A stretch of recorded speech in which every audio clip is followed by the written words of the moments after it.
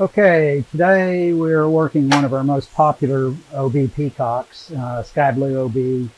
Uh, this is a fish that we segregated from a box of o, uh, nondescript OBs we got in uh, 2003 after Hurricane Claudette uh, destroyed this greenhouse. And they built greenhouse two, needed to stock it, so we got some fish from Florida. And got a couple, two to 300 little blue, uh, little OB peacocks, grew them up, and out of uh, some of those we got blue OBs. Uh, some people call them blueberries, but this is a strain we developed. We call it blue OB.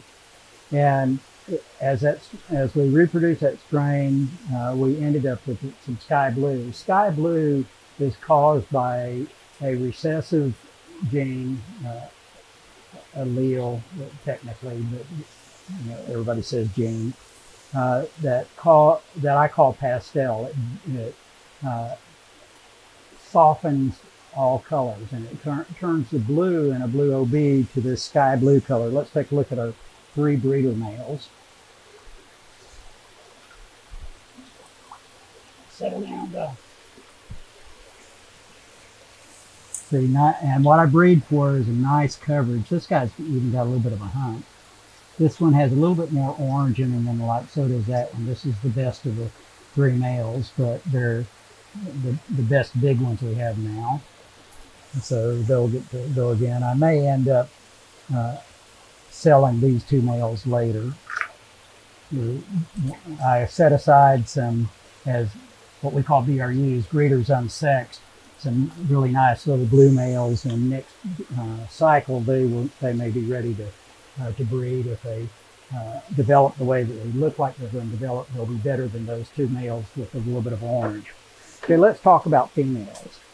Uh, males are obviously in uh, Lake Malawi cichlids. Males are very important because they mate with a lot of females. So one good male can really drive the ge genetics of the population where you want it. But you have to pay attention to females too. I'm going to put a bunch uh, set aside some females here. We're going to talk about these guys.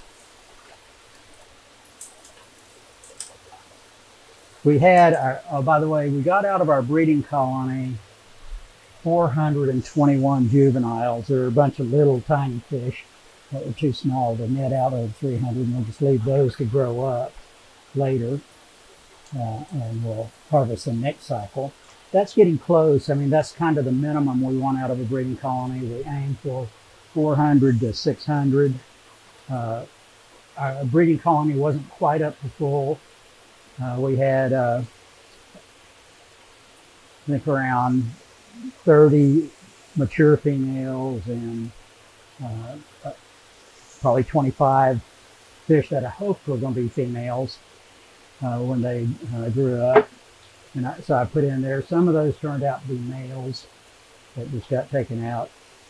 But looking at the breeders, breeder females, and I put up most of them. Let's see, so far I've put up 27 of the original fem breeder females and 16 new ones. And what I did was purged a bunch of fish. Take a look at this fish. That fish is going to produce very, very nice gold OB males but not uh, sky blue. So she will be removed from breeding colony. This is same one, same fish. It's just too gold.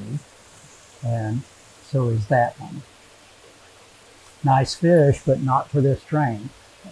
Unfortunately, that is the ideal female for this strain. Ugly, but they produce the uh, best sky blue males.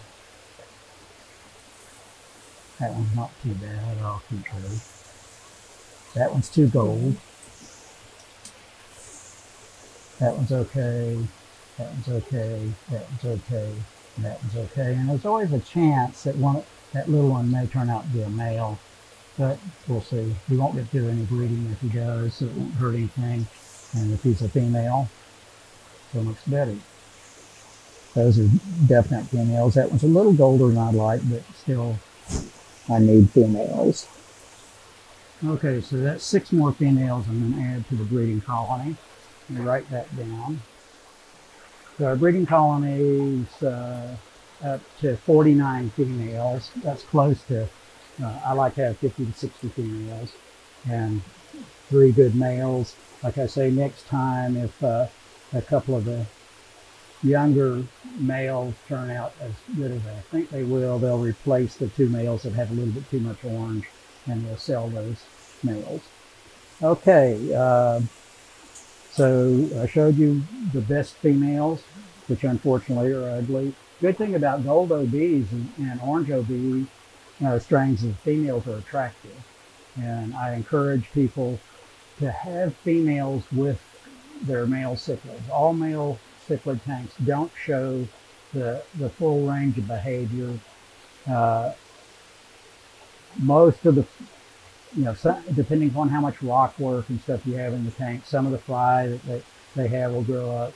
Their OBs are already hybrids, so you don't have to worry about selling uh, hybrids. Everybody knows OB peacocks are hybrids. Uh, and who knows, you might get some really pretty fish out of it. A lot of the fry will get eaten. The ones that are slow, dumb, or unlucky will, will become fish food, uh, which is beneficial to your, your fish.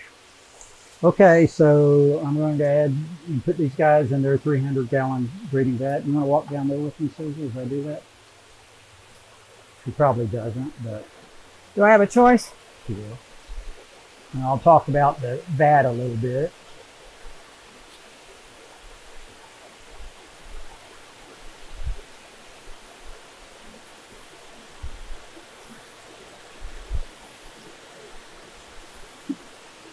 Okay, I'm just filling this vat. Uh, we put these hotels, one of the pipe hotels and three of the double uh, uh, aquaculture netting hotels, just give uh, subordinate fish a place to hide, fry. Uh, this is a fry cage. There's a couple hotels in it. This is a fry cage that I just added Najas grass to because we have a lot of demand for it and I grow it, try to grow it in these cages where it's easier to control. It tends to, because unlike hornwort, this is hornwort. Hornwort's rootless and, and floats. Najas uh, barely roots and sinks. Uh, so by the time you see it in a vat, it's kind of overtaken the vat. So I do this to kind of control it and make it easier to harvest when I'm selling it. Uh, if you look in, there are the females. Have, some of the females I've already added. You see back over there a lot of feeder guppies. Uh, get, kind of dither fish. It get, gets the, the big cichlids used to having little fish around and so they're not as likely to eat their fry. Okay, so, and in here you don't see him, but we have a Plecostomus about this long, and his, the, his purpose is to stir up the mulm uh, so it doesn't accumulate so much. Let me show you that. The bottom's covered in mulm like this, and this is absolutely loaded with beneficial bacteria, nitrifying bacteria, nitrobacterium, and, and other uh, ammonia using bacteria. They help keep our ammonia levels zero along with the plants. Uh, and also it has paramecium and all kinds of microorganisms that make a great first food for little fish. Uh, there are probably even scuds in here that, that manage to escape the fish. This is this hornwort, by the way. Each one of these growing tips grow at this time of year grows an inch a day. Uh, we sell this in bulk. It's surprisingly. Okay, sorry, uh, the recording abruptly stopped. Apparently iPhones are not as hardy as humans, and it said it was too hot, and it quit filming. I think the temperature was about 125 in the greenhouse, the air temperature. Surprising though, the water stays in oh, 78, 79, maybe low 80s occasionally. And that's because of evaporation. We run fans. We've got this fan turned off right now so that you can hear me. But we force air in and then air, hot air goes out vents at the top of the tops of the ends of the greenhouses. And we lose, each greenhouse loses about out of the 37, 38,000 gallons of water each one of them has, loses uh, about uh, 1,500 to 2,000 gallons a day uh, from evaporation, and that helps cool it. Uh, that getting rid of the hot air. Uh, apparently, we didn't get it. Rid of no hot air. By the way, wives don't apparently aren't as hardy as husbands, or at least this husband, if he's complaining about about the heat. Uh, there's. Unfortunately, our fan killed a green snake and a Texas ribbon snake. They crawled in and got their heads hit by the fan. It's the fans are the, they're big predators. We'll be installing uh, fans in the walls higher where maybe the snakes won't get to it. But we have a lot of both of those species. Anyway, good fish keeping.